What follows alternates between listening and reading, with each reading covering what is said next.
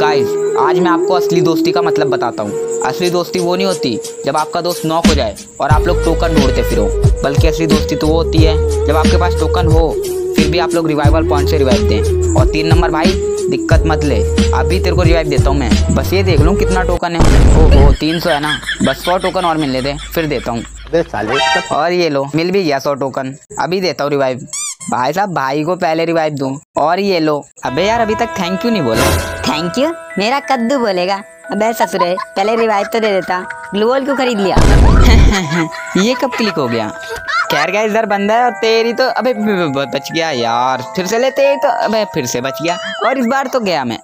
हाँ भाई और ग्लूवल चाहिए? नहीं मेरे से ले ले क्योंकि तेरे को तो देना ही है दूसरे को।